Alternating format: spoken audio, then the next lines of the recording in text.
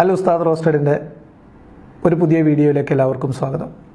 ഇന്ന് ഇസ്ലാമിലെ മതപ്രഭാഷകരുടെ ഇഷ്ടവിഷയവും ഇസ്ലാമിനെക്കുറിച്ചുള്ള മതവിമർശകരുടെ ഏറ്റവും പ്രധാനപ്പെട്ട ഒരു ആരോപണവുമായിട്ടുള്ള സ്ത്രീകളെ അടിച്ചമർത്തുന്ന ഇസ്ലാമിക നിയമങ്ങളെക്കുറിച്ചുള്ള അതിൽ തന്നെ ഏറ്റവും പ്രധാനമായ സ്ത്രീകളുടെ വസ്ത്രധാരണ രീതിയിൽ ഇസ്ലാം നിഷ്കർഷിക്കുന്ന ചില നിയമങ്ങൾ അവിടെ സ്ത്രീകളുടെ സ്വാതന്ത്ര്യത്തെ അടിച്ചമർത്തുകയും സ്ത്രീകളുടെ ചോയ്സിനെ നിഷേധിക്കുകയും സ്ത്രീകളുടെ വ്യക്തിത്വത്തെയും വ്യക്തി സ്വാതന്ത്ര്യത്തെയും പൂർണമായി ഹനിക്കുകയും ചെയ്യുന്ന ഇസ്ലാമിക നിയമങ്ങളാണുള്ളത്. അത്തരം വിമർശനങ്ങളൊക്കെ നമ്മൾ ഉന്നയിക്കുന്ന സമയത്ത് അതിനെയൊക്കെ ശക്തിയുക്തം എതിർത്തുകൊണ്ട് ഇസ്ലാമിലെ സ്ത്രീ രാജ്ഞികളെ പോലെയാണ്. പുരുഷനേക്കാളും സ്ഥാനം ഇസ്ലാമിൽ സ്ത്രീകൾക്ക് കിട്ടുന്ന സാഹചര്യങ്ങളുണ്ടെന്നൊക്കെ പറയുന്ന ആളുകൾ തന്നെ.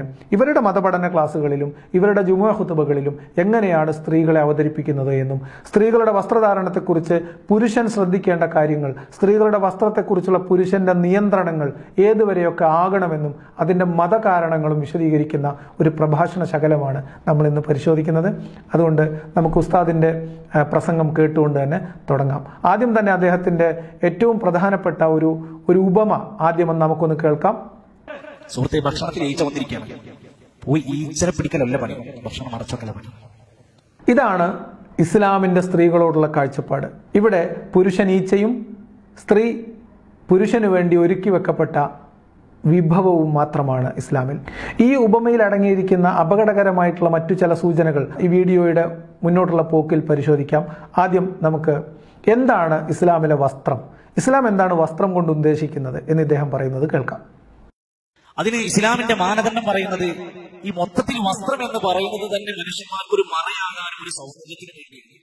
കേൾക്കുമ്പോൾ കുഴപ്പമില്ല അല്ലേ? നമ്മളിപ്പം നാണം മറക്കാനും നമ്മുടെ ശരീര സൗന്ദര്യമോ അല്ലെങ്കിൽ നമ്മുടെ മൊത്തത്തിലുള്ള ഒരു അപ്പിയറൻസ് അതിൽ നമുക്ക് കിട്ടുന്ന ഒരു ആത്മവിശ്വാസം ഒരു ആത്മസംതൃപ്തി നമ്മൾ ഇങ്ങനെ കണ്ണാടിയിൽ നോക്കുമ്പോൾ കൊള്ളാം.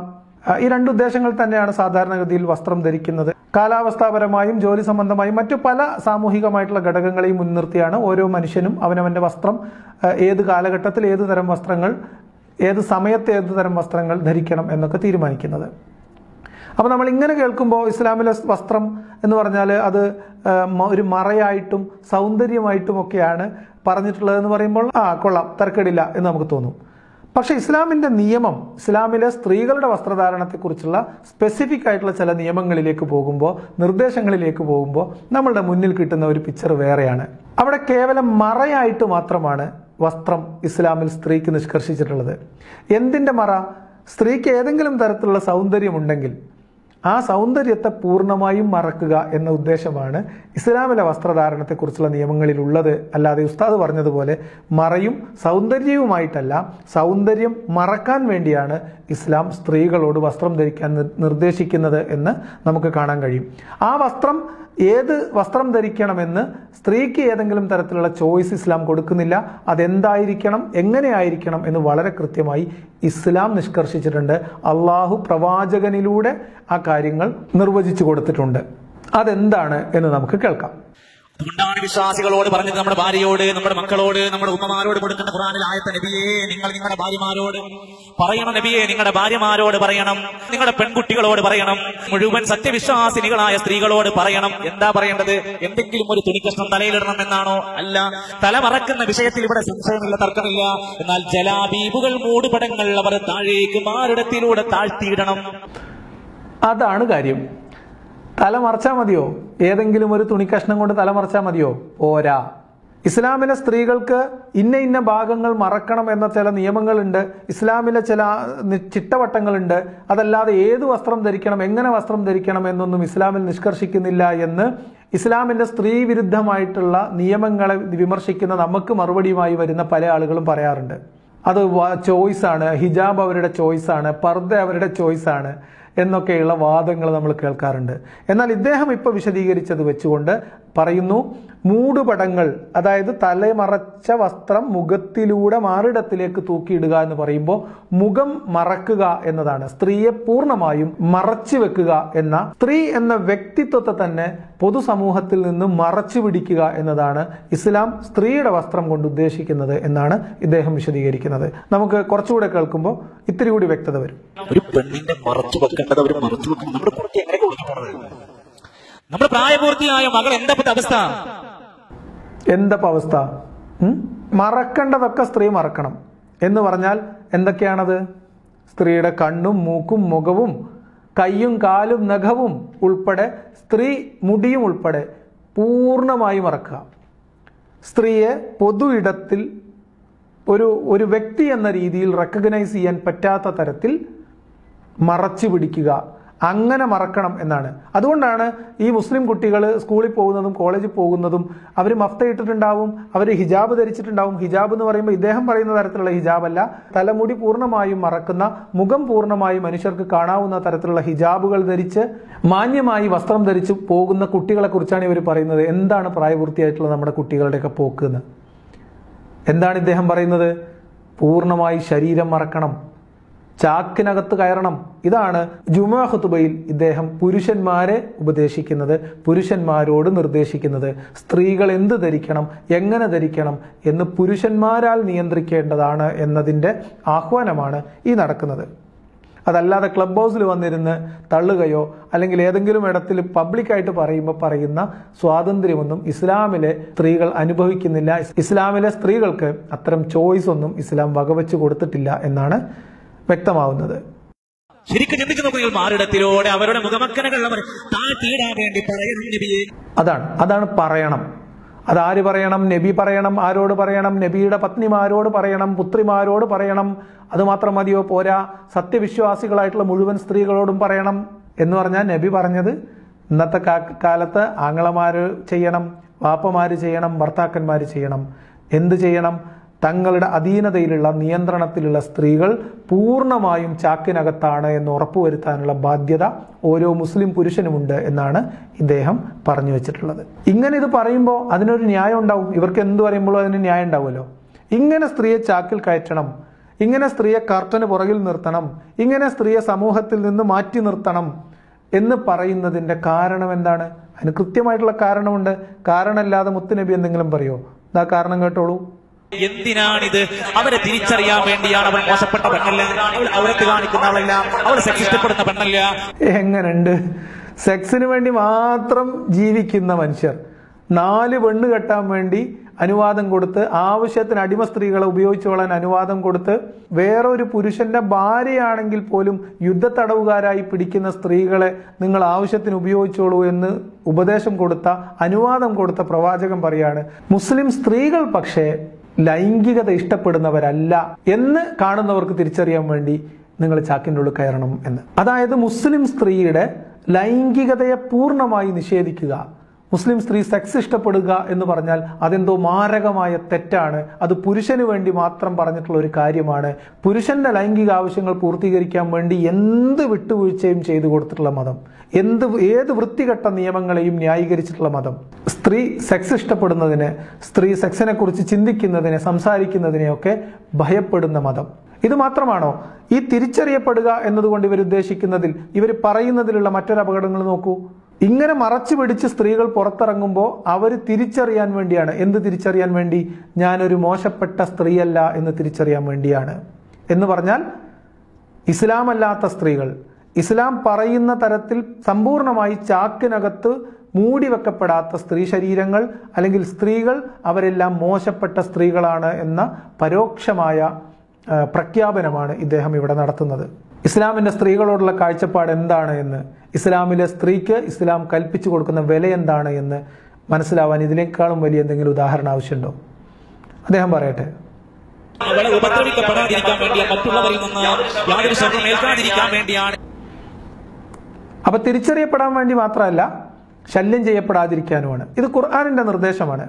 മുസ്ലിം സ്ത്രീകളെ വേഷം കൊണ്ട് തിരിച്ചറിയാനും അവർ സ്വതന്ത്രകളായ മുസ്ലിം സ്ത്രീകളാണ് എന്ന് തിരിച്ചറിയാനും അങ്ങനെ സമൂഹത്തിൽ പുരുഷന്മാരുടെ ഉപദ്രവത്തിൽ നിന്ന് രക്ഷപ്പെടാനും. എന്ന് പറഞ്ഞാൽ മുസ്ലിം സ്വതന്ത്ര സ്ത്രീയാണ് എന്ന പരിഗണന കൊണ്ട് മുസ്ലിം പുരുഷന്മാരുടെ ശല്യത്തിൽ നിന്ന് രക്ഷ നേടാൻ.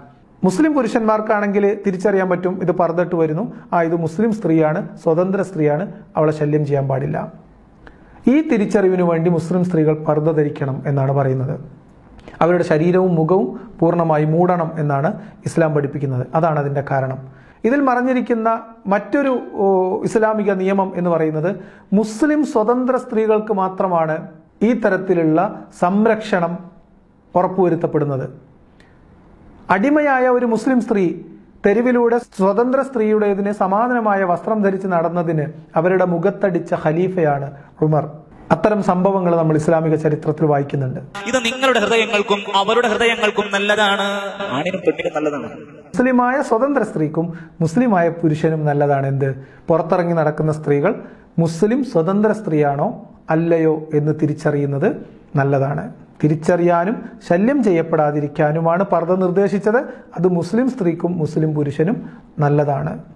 കാര്യങ്ങൾ വ്യക്തമായി എന്നാണ് ഞാൻ വിചാരിക്കുന്നത്. അതിൽ കൂടുതൽ അത് വിശദീകരിക്കേണ്ട കാര്യം പോലും ഇല്ല.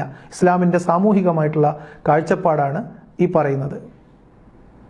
കണ്ണുകളെ നിയന്ത്രിച്ചു ഔറാത്തുകളിലേക്ക് നോക്കാതിരിക്കാനുള്ള സുരക്ഷത്തിന് വേണ്ടിയാണ് ഇസ്ലാമി കൽപ്പന നമ്മളോട് പറഞ്ഞിരിക്കുന്നത് മുസ്ലിം സ്ത്രീയുടെ ഔറത്തിലേക്ക് മുസ്ലിം പുരുഷൻ നോക്കാതിരിക്കാൻ വേണ്ടിയിട്ടുള്ള ഒരു സൂത്രപ്പണിയായിട്ടാണ് ഈ കാര്യങ്ങൾ പറഞ്ഞിട്ടുള്ളത്. ഇത് കേൾക്കുമ്പോൾ നമുക്ക് തോന്നും മുസ്ലിം പുരുഷന്റെ കണ്ണുകളെ നിയന്ത്രിക്കാൻ അവന്റെ മനസ്സിനെ നിയന്ത്രിക്കാൻ അവന്റെ തോന്നലുകളെ നിയന്ത്രിക്കാൻ അവനെ സംസ്കരിക്കുന്നതിന് പകരം സ്ത്രീകളെ ചാക്കിൽ കയറ്റുക എന്ന തന്ത്രമാണ് ഇസ്ലാം പ്രയോഗിക്കുന്നത്. മുസ്ലിം ആയാലും അല്ലാതെയുള്ള സ്ത്രീകളോടും അടിമയായാലും സ്വതന്ത്രയായാലും അവരോടൊക്കെ മാന്യമായി പെരുമാറാനും എങ്ങനെയാണ് മാന്യമായി പെരുമാറേണ്ടതെന്നും ഒരു സ്ത്രീയോട് എങ്ങനെ പെരുമാറണമെന്ന് പഠിപ്പിക്കുന്നതിന് പകരം സംരക്ഷിക്കപ്പെടേണ്ട ശല്യം ചെയ്യപ്പെടാതിരിക്കേണ്ട സ്ത്രീകൾ മുഴുവൻ ചാക്കിലകത്ത് കയറിക്കോളൂ എന്ന് പറയുന്ന ഈ ന്യായം. ഇതിന് ഇദ്ദേഹം മറ്റൊരു ഉദാഹരണം കൂടി പറയുന്നുണ്ട്. അതുകൂടി കേട്ടോളൂ. ആളുകൾ ചോദിക്കുന്ന ചോദ്യമാണ് പുരുഷന്മാരോട് പറയും നിങ്ങൾ എന്തിനാണ് സ്ത്രീകളുടെ മേൽ ഇങ്ങനെ വസ്ത്രം നിയന്ത്രിക്കുന്നത്? പുരുഷന്മാരുടെ കണ്ണുകളൊന്ന് മൂടിക്കെട്ടിയാ പോരെ? നിങ്ങൾ എന്തിനാ സ്ത്രീകൾ ഇങ്ങനെ നടന്നോട്ടെ? നിങ്ങൾ എന്തിനാ അങ്ങോട്ട് നോക്കണേ? സുഹൃത്തെ ഭക്ഷണത്തിൽ ഈച്ച വന്നിരിക്കുകയാണ്. പോയി ഈച്ചനെ പിടിക്കലല്ല പണി? ഭക്ഷണം അടച്ചോക്കല പണി? എന്താണ് ഇതിന് നമ്മൾ മറുപടി പറയാം? എന്താണ് ഇസ്ലാം സ്ത്രീയെക്കുറിച്ച് സങ്കല്പിച്ചു വെച്ചിരിക്കുന്നത്? സ്ത്രീ എന്തിനോടാണ് ഉപമിക്കുന്നത്? പുരുഷൻ എന്തിനോടാണ് ഉപമിക്കുന്നത് നോക്കാം. ഈച്ചയാകുന്ന പുരുഷന് പറന്നിരിക്കാനും ആസ്വദിക്കാനും വേണ്ടി ഒരുക്കി വെച്ച വിഭവം മാത്രമാണ് സ്ത്രീ. അതുകൊണ്ട് ഈ ഭക്ഷണത്തിൽ ഇരിക്കാൻ അർഹതപ്പെട്ട ഈച്ച അല്ലാത്ത ഈച്ചകൾ ഈ ഭക്ഷണം കാണാതിരിക്കാൻ വേണ്ടി അതിനെ മൂടി വെച്ചോളുക എന്ന യുക്തിയാണ്. സ്ത്രീയെ പുരുഷന് ആസ്വദിക്കാനുള്ള ഒരു വിഭവം മാത്രമായിട്ടാണ് ഖുർആൻ തന്നെ പരിഗണിച്ചിട്ടുള്ളത്. പുരുഷന്റെ ഉടമസ്ഥതയിലുള്ള പുരുഷന്റെ ആസ്വാദനത്തിന് വേണ്ടിയുള്ള പുരുഷന്റെ ആവശ്യപൂർത്തീകരണത്തിനുള്ള കേവലം ശരീരം മാത്രമാണ് സ്ത്രീ. വില കൊടുത്തു വാങ്ങാൻ ക്രയവിക്രയം നടത്താൻ കഴിയുന്ന ഒരു ശരീരം മാത്രമാണ് സ്ത്രീ. ഇസ്ലാമിലെ സ്ത്രീകളോടുള്ള കാഴ്ചപ്പാട് ഞാൻ പലതവണ പറയുമ്പോഴും പല രീതിയിൽ എന്നെ ആക്ഷേപിക്കാനും എന്നെ തെറി വിളിക്കാനും വരുന്ന വിശ്വാസികളായിട്ടുള്ള സ്ത്രീകളും പുരുഷന്മാരും മനസ്സിലാക്കുക. ഇസ്ലാമിന്റെ സ്ത്രീകളോടുള്ള സമീപനം വളർത്തുമൃഗത്തിനോട് സമാനമായിട്ടുള്ള സമീപനമാണ്. അത് കൃത്യമായ ഒരു ഉദാഹരണത്തിലൂടെ സ്ഥാപിക്കുകയാണ് ഈ ഉസ്താദ് ഇപ്പം ഇവിടെ ചെയ്തിട്ടുള്ളത്. ഇത്തരം മൂല്യന്മാരോട് നമുക്കൊരൊറ്റ കാര്യം പറയാനുള്ളൂ. അതും നമുക്ക് ഈ ഉസ്താദിന്റെ വാക്കുകളിൽ തന്നെ അദ്ദേഹത്തിന് പറഞ്ഞു കൊടുക്കാം. അതെ ഇതുപോലെയുള്ള വിഡിത്തരങ്ങൾ വലിയ സംഭവമായി വിളിച്ചു പറയാതിരിക്കാനുള്ള മാന്യത കാണിക്കണം. എന്താണ് ഈ പറയുന്നതിന്റെ അർത്ഥമെന്ന് പറയുന്നതിന് മുമ്പ് ഒരു തവണയെങ്കിലും ആലോചിക്കാനുള്ള ഒരു മനസ്സുണ്ടാവണം. സ്ത്രീയെയും പുരുഷനെയും ഒരുപോലെ അധിക്ഷേപിക്കുന്ന ഒരു വർത്തമാനമാണിത് എന്ന് തിരിച്ചറിയാനുള്ള ഒരു വിവേകമെങ്കിലും നിങ്ങൾ കാണിക്കണം. അള്ളാഹുവിന്റെ റസൂൽ സല്ലല്ലാഹു അലൈഹി വസല്ലമ തങ്ങൾ ദീനിന്റെ ഈ വിഷയം പഠിപ്പിച്ചു കൊടുക്കുമ്പോൾ എത്ര കൃത്യമായിട്ട് അവരുടെ വേഷത്തിൽ ശ്രദ്ധിക്കേണ്ട കാര്യങ്ങൾ എത്രമാത്രം പറഞ്ഞു? പറയുകയാണ് ഒരിക്കൽ നബി തങ്ങൾ പറഞ്ഞത് ഒരു പെണ്ണ് അവളുടെ വസ്ത്രം ബൈതിഹ അവളുടെ വീടല്ലാത്ത ഒരു സ്ഥലത്ത് വെച്ചുകൊണ്ട് അങ്ങനെ അവളുടെ ഔറാത്തുകൾ കാണിക്കപ്പെടുന്ന ഒരു ഘട്ടമുണ്ടായാൽ അള്ളാഹു അവളുടെ മറ നീക്കും. അവളെ അള്ളാഹ് അപമാനിക്കുന്നതാണ്. അത്രയ്ക്ക് നമ്മുടെ കുട്ടികൾ നമ്മുടെ സ്ത്രീകൾ സുരക്ഷിതരാവണം. അവരവരുടെ ഔറാത്തുകൾ പുറമെ കാണാനുള്ള ഒരു സാഹചര്യങ്ങളും ഉണ്ടാക്കരുത് എന്ന് കൃത്യമായി പഠിപ്പിച്ച വിശ്വാസികളോട്. ഈ പറയപ്പെടുന്ന ഇസ്ലാമിന്റെ നിയമങ്ങളൊക്കെ പഠിപ്പിച്ചു കൊടുത്തിട്ട് മുഹമ്മദ് നബി നേരെ പോയത് എങ്ങോട്ടാണെന്നറിയോ? ഷൗത്ത് എന്ന് പറയപ്പെടുന്ന ഒരു തോട്ടത്തിലേക്കാണ്. ഇമാം ബുഖാരിയുടെ ഒരു ഹദീസ് ഞാൻ വായിക്കാം. അബൂ സയ്യിദിൽ നിന്ന് ഞങ്ങൾ നബിയോടൊപ്പം പുറപ്പെട്ടു. ഞങ്ങൾ ഷൗത്ത് എന്ന് വിളിക്കപ്പെടുന്ന ഒരു ഈന്തപ്പന തോട്ടത്തിൽ രണ്ട് മതിലുകൾക്കരികെ എത്തി. ഞങ്ങൾ അവിടെ ഇരിക്കുകയായിരുന്നു. നബി പറഞ്ഞു നിങ്ങൾ ഇവിടെ തന്നെ ഇരിക്കുക. അനന്തരം അദ്ദേഹം തോട്ടത്തിൽ കടന്നു ചെന്നു. അപ്പോൾ ജൗനിന്റെ മകളെ അവിടെ കൊണ്ടുവന്നു. നഖലിൽ നൊമാൻ ബിനു ഷറാഹിലിന്റെ വീട്ടിൽ അവളെ താമസിപ്പിച്ചു. അവളുടെ കൂടെ അവളെ വളർത്തിയ പരിചാരികയും ഉണ്ടായിരുന്നു. നബി അവളുടെ അടുത്ത് ചെന്ന് നീ നിന്നെ എനിക്ക് ദാനം നൽകുക എന്ന് പറഞ്ഞു. അപ്പോൾ അവൾ ചോദിച്ചു ഒരു രാജ്ഞി അവളെ സാധാരണക്കാർക്ക് ദാനം ചെയ്യുമോ? അപ്പോൾ നബി അവളെ ശാന്തയാക്കാൻ തന്റെ കൈ അവളുടെ ശരീരത്തിലേക്ക് വെക്കാൻ ഉദ്ദേശിച്ച് നീട്ടിയപ്പോൾ അവൾ പറഞ്ഞു താങ്കളിൽ നിന്നും രക്ഷ നേടാൻ ഞാൻ അള്ളാഹുവിൽ അഭയം തേടുന്നു. അപ്പോൾ നബി പറഞ്ഞു അഭയം പ്രാപിക്കേണ്ടിടത്ത് തന്നെയാണ് നീ അഭയം പ്രാപിച്ചത്. പിന്നെ ഞങ്ങളുടെ അടുത്തേക്ക് വന്ന് നബി പറഞ്ഞു അബൂ സൈദ് രണ്ട് മുന്തിയ ഇനം നീണ്ട വെള്ള വസ്ത്രങ്ങൾ അണിയിച്ച് അവരെ സ്വന്തം കുടുംബത്തിലേക്ക് എത്തിക്കുക. ഇസ്ലാമിന്റെ സ്ത്രീകളോടുള്ള കാഴ്ചപ്പാട് എന്താണ്? എന്ന് ഈ ഉസ്താദ് പറഞ്ഞ ഇസ്ലാമിക നിയമങ്ങളിൽ നിന്ന് നമുക്ക് മനസ്സിലാകുക മാത്രമല്ല മുഹമ്മദിന്റെ ഈ ചെയ്തിയിൽ നിന്നും ഇസ്ലാം സ്ത്രീയെ എങ്ങനെയാണ് കണ്ടിരുന്നത്? മുഹമ്മദ് സ്ത്രീകളെ എങ്ങനെയാണ് കണ്ടിരുന്നത് എന്ന് നമുക്ക് വ്യക്തമാവും. ഇവർ ഇസ്ലാമിനെ ന്യായീകരിക്കാൻ വേണ്ടി വിമർശകർക്ക് മറുപടി പറയാൻ വേണ്ടി വന്ന് വിളമ്പുന്ന ആനുകൂല്യങ്ങളും നിയമങ്ങളും ഒന്നും ഇസ്ലാമിലെ സ്ത്രീകൾക്ക് ലഭിക്കുന്നതല്ല. മതപരമായി ഇസ്ലാമിൽ ആ തരത്തിലുള്ള അവകാശങ്ങളുള്ള ഒരു വിഭാഗമായിട്ടല്ല സ്ത്രീകൾ പരിഗണിക്കപ്പെട്ടിട്ടുള്ളത്. സ്ത്രീകൾ എല്ലാ കാലത്തും പുരുഷന്റെ പൂർണമായ ആധിപത്യത്തിന് കീഴിൽ പുരുഷന് സമ്പൂർണമായി കീഴൊതുങ്ങി ജീവിക്കേണ്ടുന്ന ഒരു വിഭാഗമാണ്. അവർക്ക് പുരുഷന്റേതിന് സമാനമായിട്ടുള്ള വ്യക്തിത്വമോ അന്തസ്സോ വകവെച്ച് കൊടുത്തിട്ടില്ല ഇസ്ലാം എന്നുള്ളതാണ്. ഇസ്ലാമിലെ സ്ത്രീയുടെ വസ്ത്രധാരണത്തെക്കുറിച്ചോ ഇസ്ലാമിലെ സ്ത്രീകളുടെ അവകാശങ്ങളെക്കുറിച്ചോ സംസാരിക്കുമ്പോൾ അതിലുള്ള ഇസ്ലാമിക നിയമങ്ങളെ വിമർശിക്കുമ്പോൾ അതിന് മറുപടിയുമായി വരുന്ന ആളുകൾ ഇസ്ലാം സ്ത്രീയെ ഏറ്റവും മഹത്തരമായിട്ടുള്ള പദവി നൽകി ആദരിച്ചവരിക്കുന്നു. ഭരണം നടത്തിയ സ്ത്രീകളുണ്ട് യുദ്ധം ചെയ്ത സ്ത്രീകളുണ്ട് എന്നൊക്കെ പറഞ്ഞുകൊണ്ട് ഏതെങ്കിലും ഒറ്റയും തെറ്റയുമായിട്ടുള്ള ചില സ്ത്രീ കഥാപാത്രങ്ങളെ കൊണ്ടുവരും. ഖദീജയുടെ ഉദാഹരണം എടുത്തുകൊണ്ട് വരും. എന്നാൽ വാസ്തവത്തിൽ ഇസ്ലാമിൽ സ്ത്രീക്ക് ആ തരത്തിലുള്ള ഒരു അവകാശങ്ങളും ഇല്ല. വസ്ത്രധാരണത്തിന്റെ കാര്യത്തിലേക്ക് പ്രത്യേകമായി വന്നു കഴിഞ്ഞാൽ ഇസ്ലാമിലെ സ്ത്രീക്ക് അവരുടെ വസ്ത്രം തിരഞ്ഞെടുക്കാനുള്ള അവകാശമില്ല. ഇസ്ലാമിലെ സ്ത്രീക്ക് ഒരു ചോയ്സിനുള്ള സ്വാതന്ത്ര്യവും ഇല്ല എന്നുള്ളതാണ് വസ്തുത. പിന്നെ അതിനെ വിമർശിക്കുമ്പോൾ പർദ്ദയെ വിമർശിക്കുമ്പോൾ ഇസ്ലാമിന്റെ സ്ത്രീവിരുദ്ധമായിട്ടുള്ള നിയമങ്ങളെ തുറന്നു കാണിക്കുമ്പോൾ അവിടെ വന്നിട്ട് ന്യായം നിരത്തുക എന്നല്ലാതെ ഈ പർദ്ദയും ഈ മഫ്തയും ഈ ബുർഹയും ഒന്നും സ്ത്രീയുടെ ചോയ്സായി വരുന്നതല്ല. സ്ത്രീയെ കണ്ടീഷൻ ചെയ്തെടുക്കുന്നതാണ് അവളെ നിർബന്ധിച്ച് ചെയ്യിപ്പിക്കുന്നതാണ് എന്നതാണ് വസ്തുത. ആ വിഷയം ഇസ്ലാമിലെ സ്ത്രീയുടെ ചോയ്സ് എങ്ങനെയാണ് രൂപപ്പെടുന്നത്? ഇസ്ലാമിലെ സ്ത്രീകൾക്ക് വസ്ത്രധാരണത്തിന്റെ കാര്യത്തിൽ അവരുടെ വസ്ത്രം തിരഞ്ഞെടുക്കുന്നതിൽ എന്ത് അവകാശമാണുള്ളത്? വസ്ത്രധാരണത്തിൽ അവർക്ക് എന്ത് ചോയ്സാണുള്ളത് എന്ന കാര്യം നമുക്ക് മറ്റൊരു വീഡിയോയിൽ പരിശോധിക്കാം.